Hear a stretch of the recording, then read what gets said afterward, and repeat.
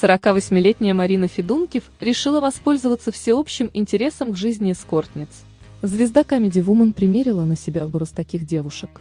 Артистка поделилась снимком, на котором предстала в провокационном наряде. Она надела ультракороткое платье яркой расцветки, дополнив образ колготками в сетку и леопардовыми ботильонами. Завершением ансамбля стала голубая шуба. Марина пошутила о скандальном телешоу, в котором были обнародованы расценки на эскорт-услуги от популярных девушек в сети. Рынок шкур – тайная жизнь популярных инстаграмщиц. Не вошедшие, написала Федункив в Инстаграм. Поклонники оценили юмор звезды. Они отметили, что ее образ и в самом деле получился огненным. Несколько фолловеров поддержали шуточную атмосферу на странице юмористки. Если это образ проститутки, то в нашем метро по утру одни проститутки едут на работу, заметил один подписчик. Может быть, у них рядом офис, предположила Марина. Недавно Марина Федункив показала стройные ноги в платье с разрезом. Сбросив вес, юмористка стала все чаще выбирать откровенные образы.